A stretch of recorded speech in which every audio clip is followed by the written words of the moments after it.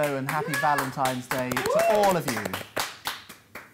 Happy Valentine's Mm. Day. Was that nice? Are, you a, are you a Valentine's guy? You don't No. seem. Oh. No, no, no, no, no, no, no, not really. No, I am. Got I'm just. I'm just not really. Oh, this is expensive. Don't do that. Sorry. Um, is um, I am just. I'm not really very romantic. I'm. No. Right.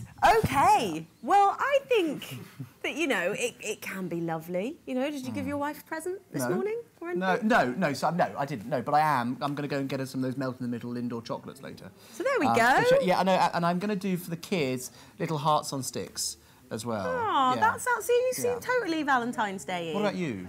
Not so much Why? into the Valentine. Well, I think it's it's more fun if you're in a relationship, isn't it? Or maybe like, de- yeah, no, just not. Are you the kind of girl that spoils her boyfriend on Valentine's Day? Um, no. I get them something, but I'm more excited about what they're going to get me. Yeah, no, I can understand. I think I think it's it's the commercialization of love.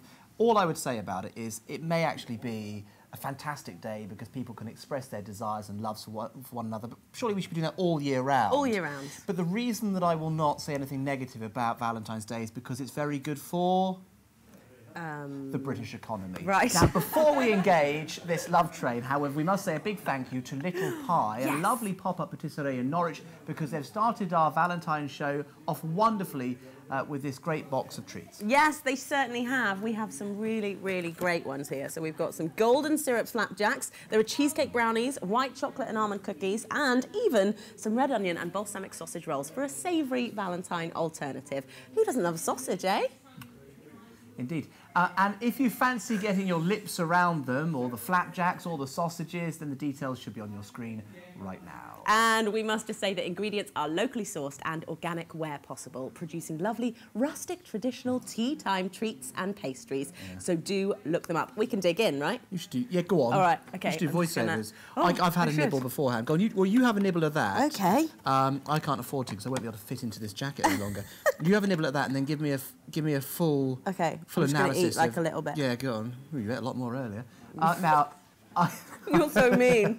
I think it's time. It says in the script it's time to put down the pastries. I Oh. think I'm not going to win that battle. Okay, all right. Um, I'm putting them down. I'm putting them down. of course, Valentine's Day means, I'm only joking, means uh, looking good and squeezing into that slinky, sexy dress and looking and feeling, not just looking, but feeling raunchy. Wow, you sold that. We have enlisted the help of our friend and stylist extraordinaire, Chrissi Rix, who has some sound advice on pulling off the perfect Valentine's outfit. Pun very much intended. Hello! Good morning again. Can I just say something? What I find so funny about uh, lingerie Oh, um, is, and what's it called? No, leg- negligee. No? Yeah, well, it's, yeah, similar, similar, Yeah. similar. Is that you spend vast sums of money. I'm sorry, I'm doing away with your business here, but they spend vast sums of money on it. You come into the bedroom, this great moment, you know, the, the hue of the lamp lights up your torso, this flowing kind of Never write erotic crisscross ever. number, and then five minutes later it's on the floor. Yeah, you don't get much wear for your money, do you, actually, with Oh, well, it's all about the anticipation, though, isn't it? Would you not say? Yes. Yes. Yeah. And feeling sexy, not feeling just lovely. looking sexy and all of that. Now we're not we're not doing lingerie today, are we? You're thinking more Well, we've got a nice mix for you. We've actually got some traditional wear, some weekend wear, and things that would perhaps be, you know, you can wear different times of year as well. So you get your cost per wear. And then we've also got some underwear, but it's more um, spring, everyday, pretty nighties and uh, dressing gowns. So nothing too overt and raunchy, I'm afraid. okay. Oh, shame. I was right with you up until that point. It's fine. I feel like we might make up for it later on the show, but you always bring us such lovely clothes, um, and I'm dying to see some. So let's get started with the first selection that you've brought in and check it out. Okay. Okay,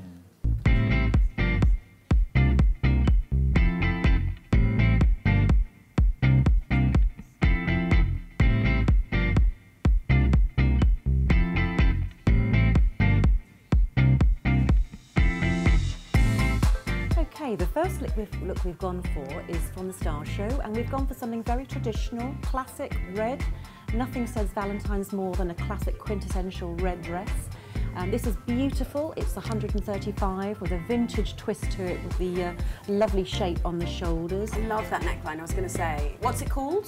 It's from the Pretty Dress Company, from the Star Show. Oh, no, sorry, I meant the Um, neckline. Is and it the a- neckline, um, quite like often it's called? Bardot or Ah, okay. Hmm. Sweetheart, but it's slightly off the shoulder. It's got a slight vintage element.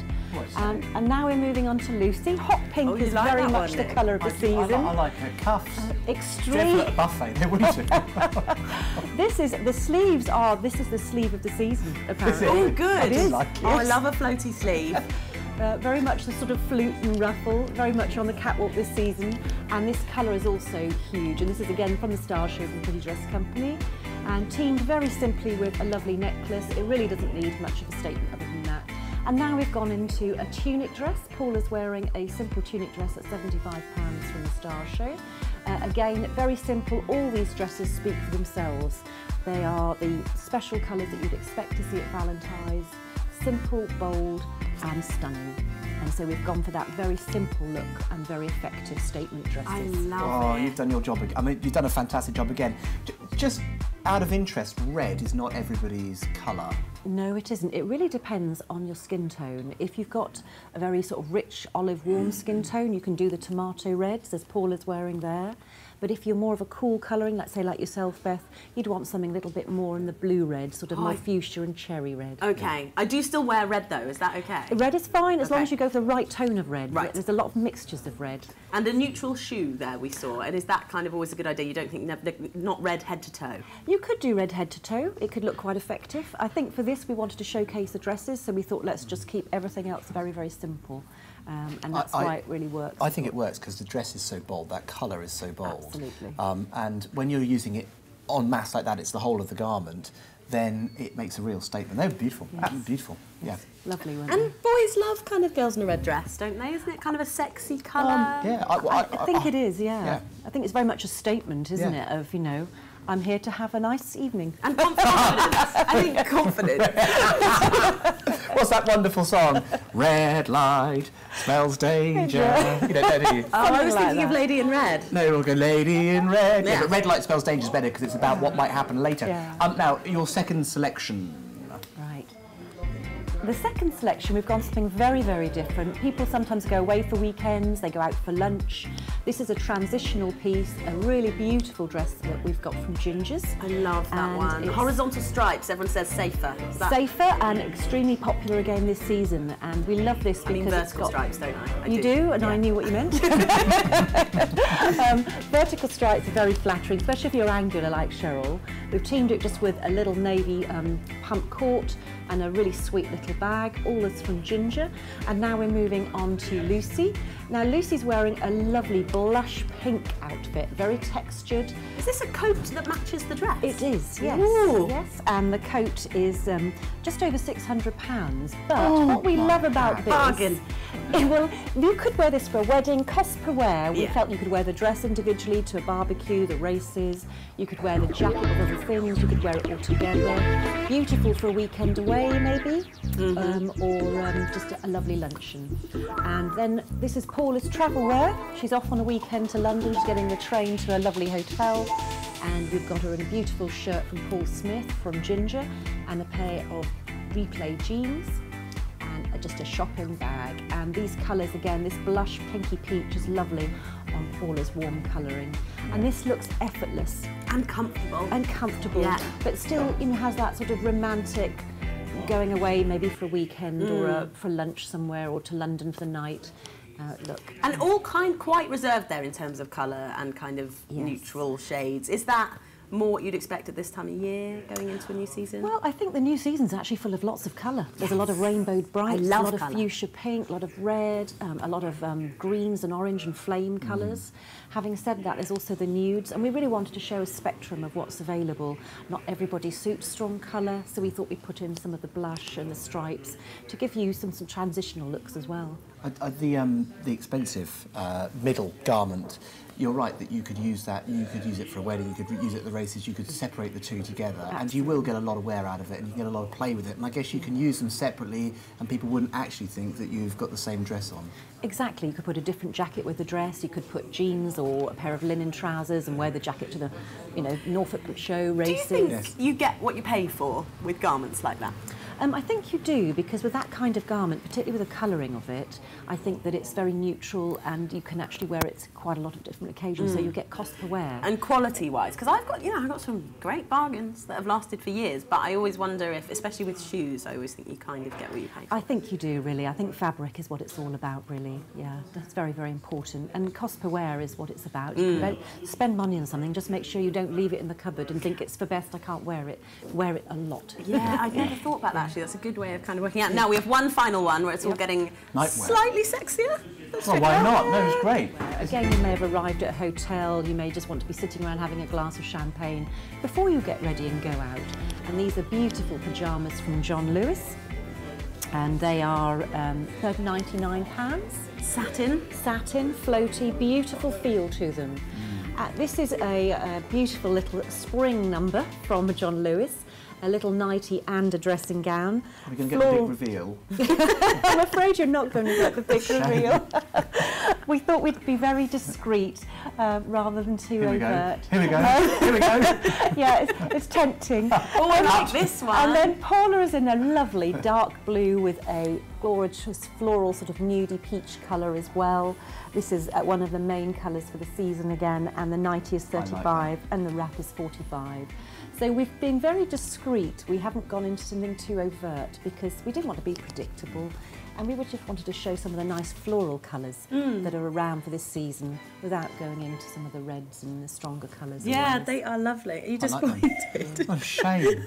I was so looking No forward to that. underwear, You tease. afraid. You tease. Actually, I have to say the, the last two, I, the first one is a, is a pair of very comfortable, practical pyjamas. But the thing about style, what you've married there, I think, brilliantly, is the fact that you do want to feel comfortable Mm. in all these garments.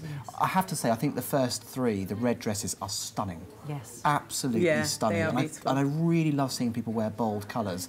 And I think, and I might be wrong here, but it works better on middle-aged women of a certain age. I've saw, seen some younger women wearing bold colours and it didn't quite work.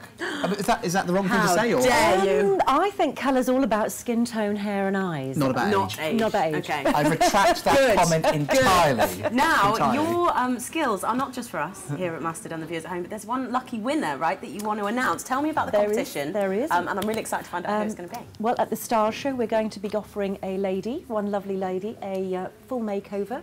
So she'll have a colour analysis, she'll have a shape analysis, the full styling with clothing and makeup. So we'll give her a complete ma- a spring makeover. Great. Uh, It's usually lots of fun, and I'm sure we'll um, really enjoy doing it for her. And you've been collecting entrants. we have, yes. I and they're it's time to pick the here. winner out of uh, out of the snazzy box that we've prepared Yeah. for you here. So go ahead, Shall I go for it? choose your winner, and hopefully they're watching. We have Sally Hillier. Sally, Sally Hillier. Hillier. Sally. Thank you, audience. Thank you. Well done. Sally. Yes, a huge congratulations, Sally. Thank you so much for coming in and giving us such a great rundown Yeah. once again. You're and welcome. happy Valentine's Day. Please do help yourself Thank you. to all They of look the delicious. treats. They do look I know you're going to say no to all of these because you don't keep a figure like that by diving into these boxes of joy, do Oh, I don't know. if if only I could have your resistance. It's a shame you're not going to be with us in part two because we're off down the sex shop. Yes, well, we will need your resistance to make that uh, kind of work.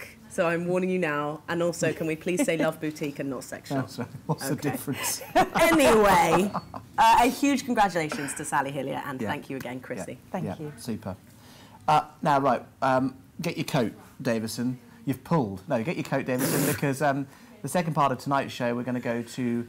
Uh, we're going to go rogue. Um, we're the Love Boutique. Yeah, we're, we're going to burst out of this studio. We're going to take a wander to Sin Sin's Love Boutique to pick up. Um, it says here your present. Yeah, I know it does. Yeah, I'm not buying. Not but, yeah. true and really awkward. Yeah. Uh, we're going into the city after Sin Sins to see what's tickling the fancy of the fine city. So, really, honestly, genuinely, you don't want to miss part two.